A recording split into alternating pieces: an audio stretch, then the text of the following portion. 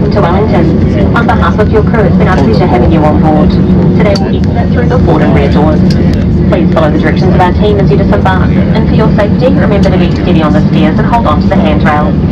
If you are travelling with small children or have concerns using the stairs, please use the forward door to disembark. Before you head off, double check that you have everything with you, and be careful opening the overhead lockers just in case any luggage is moved during the flight. Remember to take any face masks or wipes, whether used or unused, off the aircraft.